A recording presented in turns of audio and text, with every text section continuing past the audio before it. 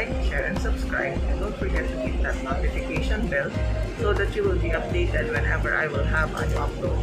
So until my next video, this has been Lorraine reminding you that God loves you. Bye! -bye.